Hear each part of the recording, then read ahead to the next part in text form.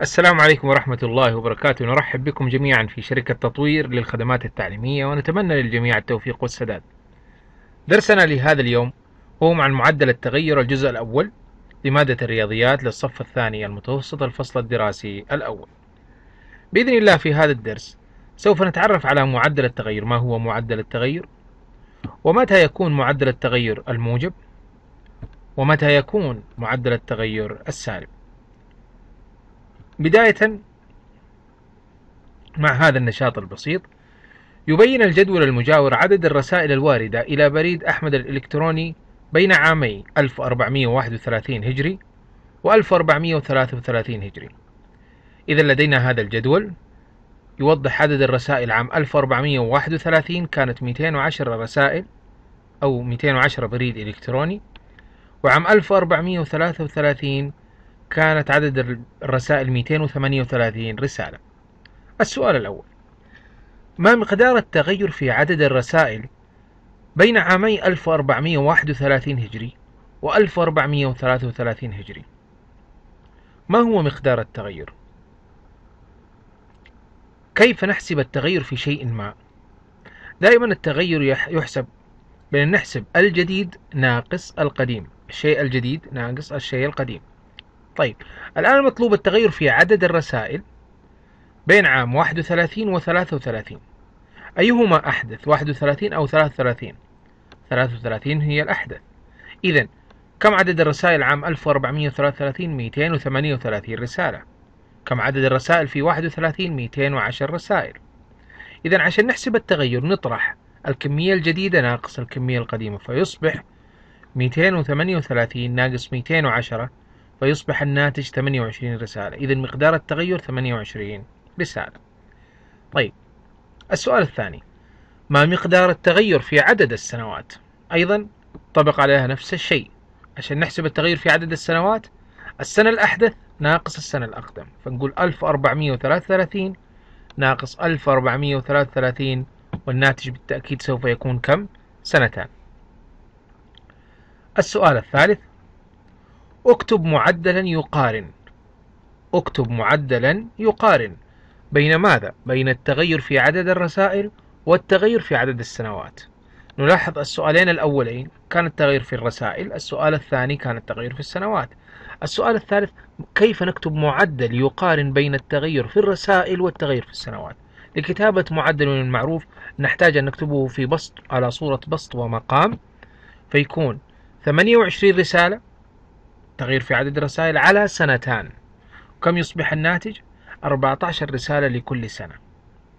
هذا النشاط البسيط بالثلاث الأسئلة البسيطة لخص لنا درس معدل التغير. عشان نحسب معدل التغير فإننا لابد أن نوجد التغير في الكمية الأولى والتغير في الكمية الثانية ثم نكتبها على صورة معدل. إذا ما هو معدل التغير؟ معدل التغير هو معدل يصف كيف تتغير كمية ما في علاقتها بكمية أخرى. كيف تتغير كمية ما في علاقتها بكمية أخرى. يشرح لنا هل التغير إيجابي هل التغير سلبي هل هو التغير إلى الأعلى أم إلى الأسفل وإلى آخره. نشوف هذا المثال البسيط الآن. مثال. استعمل المعلومات المجاورة لإيجاد معدل التغير في عدد الرسائل الإلكترونية أيضا بين عامي 1430 و 1434 لدينا في هذا الجدول عام 1430 210 رسائل و 1434 262 رسالة. المطلوب إيجاد معدل التغير. لكي نوجد معدل التغير لابد أن نجيب التغير في الرسائل. أول شيء نوجد التغير في عدد الرسائل ونوجد التغير في عدد السنوات. طيب ما هو مقدار التغير في عدد الرسائل؟ كما ذكرت لكم في النشاط السابق لكي نوجد التغير نطرح الكمية الجديدة ناقص الكمية القديمة. كم الكمية الجديدة عام 1434 كم كانت عدد الرسائل؟ 262 الكمية القديمة في عام 1430 كم كان العدد؟ 210 إذا في البسط نكتب 262 ناقص 210 وفي المقام أيضا يكون التغير في السنوات أو في عدد السنوات. أيضا نكتب السنة الحديثة ناقص السنة القديمة فنقول 1434 ناقص 1430 فيصبح شكل كالآتي إذا التغير في الرسائل 262 ناقص 210 اللي هي الكمية الحديثة ناقص الكمية القديمة. والتغير في السنوات 1434 ناقص 1430 نكتبها الآن على الصورة. 262 ناقص 210 1434 ناقص 1430 الآن نوجد الناتج. نطرح 262 ناقص 210 يساوي 52 رسالة. و1434 ناقص 1430 يعطينا أربع سنوات. الآن نريد أن نوجد الناتج 52 رسالة قسمة أربع سنوات إذا عندنا 52 رسالة في أربع سنوات. طيب السنة الواحدة كم رسالة؟ يكون الناتج 13 رسالة لكل سنة. إذا البريد الإلكتروني لزميلنا يزيد 13 رسالة كل سنة. إذا معدل تغير موجب. في كل سنة يوجد زيادة لا يوجد ماذا؟ نقصان. طيب إذا بما أن معدل التغير موجب فإن البريد الإلكتروني لأحمد زاد بمعدل 13 رسالة ما بين عام 1433 و 1434 تدريب بسيط. الآن ننتقل من الرسائل إلى الطول والعمر. يقول لك يبين الجدول المجاور. طول ثامر عندما كان عمره ثمان سنوات وأيضا 11 سنة. ما هو المطلوب؟ أوجد معدل التغير في طوله خلال هذين العمرين. أعطانا هذا الجدول وضح فيه أن الطول بالسنتيمتر والعمر بالسنة. فعندما كان ثامر عمره ثمان سنوات كان طوله 130 سنتيمتر. وعندما كان عمره 11 سنة كان طوله 145 سنتيمتر. عشان نوجد المعدل التغير قلنا لابد أن يكون في بسط ومقام على صورة معدل. إذن البسط ماذا نكتب فيه؟ التغير في الطول والمقام التغير في العمر. في الغالب في أسئلة معدلات التغير يكون المقام يختص بالأعمار بالزمن وإلى آخره. دائما ما يخص الزمن يكون في المقام في الغالب. طيب التغير في الطول. كيف نحسب التغير في الطول؟ قلنا كلمة التغير تعني الشيء الجديد أو الشيء الحديث ناقص الشيء القديم. طوله عندما كان عمره 11 45 145 وعندما كان عمره ثمان سنوات 130 إذا نطرح نقول 145 ناقص 130 والتغير في العمر أيضا الحديث ناقص القديم فنقول 11 سنة ناقص 8 سنوات. طيب كم تكون النواتج؟ 145 ناقص 130 يساوي 15 وفي المقام 11 ناقص 8 يساوي 3 سنوات. إذا 15 سنتيمتر في ثلاث سنوات. لكن نحن نريد كم معدل التغير في السنة الواحدة؟ فبالتالي لابد أن نقسم 15 قسم الثلاثة فيكون الناتج 5 سنتيمتر لكل سنة. إذا هل هذا التغير إيجابي موجب أم تغير سلبي؟ بالتأكيد إيجابي موجب لأن الناتج كان خمس سنوات في خمسة سنتيمتر في كل سنة إذا تغير موجب. إذا يزيد طول ثامر خمسة سنتيمتر كل سنة. فهو تغير موجب. الرسمة البيانية الموجودة عندنا لعدد رسائل إلكترونية من عام 1427 إلى عام 1430 وضحت أنه ميل المستقيم يميل بهذا الاتجاه. إيش تقول عندنا المعلومات هذه؟ يقول لك يظهر معدل التغير الموجب من خلال ميل الخط إلى أعلى من اليسار إلى اليمين. إذا إذا كانت عندي مسألة وفيها رسمة بيانية أستطيع أن أقرأ قبل لا أني أجاوب هل أنه الميل حيكون موجب أو يكون سالب طب متى يكون موجب؟ إذا جينا من اليسار طبعا غالبا التمثيلات البيانية تقرأ من جهة اليسار. بدأت النقطة هنا ثم ارتفعت إلى اليمين إلى الأعلى. ثم ارتفعت إلى الأعلى. هذه موجب. أما إذا معدل التغير السالب فيظهر عندما يميل الخط إلى أسفل. إذا مال الخط إلى أسفل فيعتبر سالب وفي هذه الحالة معدل التغير كان موجب. خلينا نشوف أمثلة على معدلات التغير.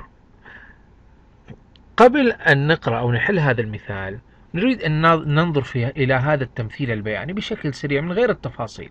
نلاحظ أن الميل لو جينا من اليسار بدأت بدأ الميل المستقيم من هنا ثم إلى أسفل. فبالتالي قبل لا نبدأ نحل نعرف أن الناتج سوف يكون سالب لأن الميل واضح يميل إلى الأسفل.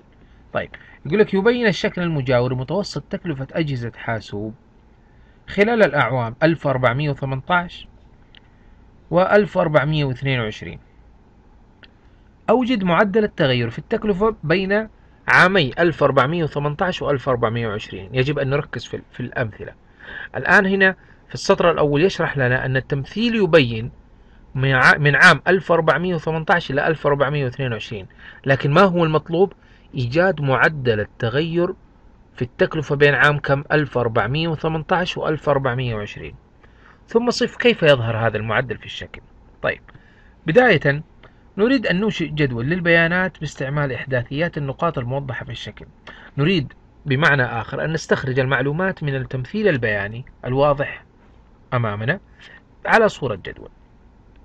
الآن يبغى السنة 1418 كم كانت التكلفة؟ في عام 1418 نلاحظ نروح إلى الأعلى كم كانت التكلفة؟ 4500 ريال. عام 1418 كانت التكلفة 4500 ريال. طيب ما هو المطلوب الثاني؟ 1420 عام 1420 كم كانت التكلفة؟ نلاحظ نطلع إلى الأعلى 3500 ريال. إذا المعلومات التي نحتاجها أوجدناها في هذا الجدول ليسهل علينا طريقة الحل. الآن طبعا مثل ما أنتم عارفين معدل التغير دائما التغير في التكلفة على التغير في السنوات. وقلنا غالبا التغير في الزمن يكون في المقام والكمية الأخرى تكون في البسط. طيب التغير في التكلفة على التغير في السنوات. كيف نحسب التغير في التكلفة؟ قلنا كلمة التغير تعني الجديد ناقص القديم.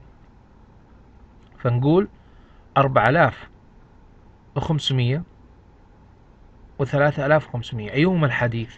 أيهما الجديد؟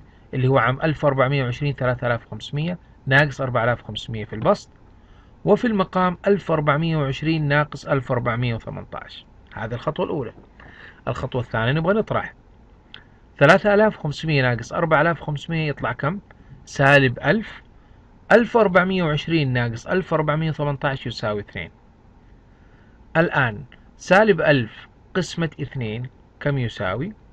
يساوي سالب خمسمائة إذا التكلفة نلاحظ أنها في كل سنة تزيد أو تنقص. حسب حلنا كان الناتج سالب فبالتالي التكلفة تنقص عن كل سنة. إذا بلغ معدل التغير سالب 500 ريال في السنة. وهو سالب لأن تكلفة جهاز الحاسوب تناقصت بين عام 1418 و 1420 وهذا ما قلناه في بداية المثال. قلنا من الواضح من التمثيل البياني أن الناتج سوف يكون سالب لأن الرسمة لما نجي من جهة اليسار نلقاها نزلت إلى أسفل. وهذا واضح في الشكل من حيث يظهر الخط مائلا في اتجاه الأسفل من اليسار إلى اليمين. إذا الآن لدينا تغير أو معدل تغير سالب لأن استطعنا أن نقول ذلك قبل أن نبدأ الحل بسبب التمثيل البياني. خلينا نأخذ هذا التدريب البسيط أيضا. من الشكل المجاور أوجد معدل التغير بين عامي 1420 و 1422 في المثال السابق أخذنا المعلومات ونظمناها في الجدول. الآن نريد أن نأخذ المعلومات مباشرة من الرسم البياني. طبعا معدل التغير عندنا كميتين التغير في التكلفة والتغير في السنوات. وقلنا دائما يكون المقام يختص بالزمن. طيب كم التغير في التكلفة؟ ما هو ما هي الفترتين عام 1420 و 1422 أيهما أحدث 1422 طيب إذا عام 1422 كم كانت التكلفة؟ 3000 طيب عام 1420 كم كانت التكلفة؟ 3500 إذا نطرح 3000 ناقص 3500 وفي المقام 1422 ناقص 1420 الآن نوجد الناتج. 3000 ناقص 3500 يساوي سالب 500 على 2 إذا سالب 500 ريال على سنتين. طب في السنة الواحدة كم يكون التكلفة؟ كم تكون؟ 250 ريال في السنة الواحدة. إذا تقل التكلفة 250 ريال في كل سنة. تقل التكلفة 250 ريال في كل سنة. وإحنا استطعنا أن نقرأ ذلك ونقول أن أن الناتج سوف يكون سالب لأن معدل التغير في الرسمة أو لأن الميل في الرسمة كان يدل على أن الناتج سوف يكون سالب لأنه هنا بدأ ومن ثم حصل نزول فبالتالي الناتج سوف يكون سالب. إذا بلغ معدل التغير سالب 250 ريال في السنة وهو سالب بالتأكيد لأن تكلفة جهاز الحاسوب تناقصت بين عامي 1420 و 22 وهذا واضح في الشكل حيث يظهر الخط مائلا في اتجاه الأسفل من اليسار إلى اليمين. هذه الصورة تلخص لنا بعض الرسمات التي تختص بمعدل التغير. هذا يكون مائل إلى الأعلى. كيف مائل إلى الأعلى؟ ملاحظة مهمة يجب أن يقرأ التمثيل البياني من جهة اليسار. الآن بدأ هنا نأتي من اليسار كأننا نقرأ اللغة الإنجليزية. من اليسار بدأ الميل ميل المستقيم من هنا ثم صعد إلى أعلى فبالتالي هذا مائل إلى الأعلى. هنا أيضا نأتي من اليسار فين البداية؟ كانت هنا ثم نزول إلى الأسفل. إذا هذا سالب يتناقص. أما هذا أفقي فميل لم يتغير لم يتغير. إذا في درسنا لهذا اليوم تعرفنا على معدل التغير هو وقلنا أنه يصف كيف تتغير كميتين وقلنا أحيانا يكون هذا معدل التغير موجب ويكون الميل بهذا الشكل إلى الأعلى وأحيانا يكون معدل التغير سالب ويكون الميل بهذا الشكل إلى الأسفل. طب كيف نوجد معدل التغير؟ قلنا نطرح الكمية الأخيرة دائما من الكمية الأولى في كل من البسط والمقام. والمقام يختص دائما بماذا؟ ويكتب الفرق في الزمن دائما فين؟ في المقام. هذا ما كان لدينا اليوم. أتمنى أنكم استفدتوا واستمتعتوا معنا في هذا الدرس. شاكر لكم حسن استماعكم وإنصاتكم ونراكم بإذن الله في دروس قادمة. والسلام عليكم ورحمة الله وبركاته.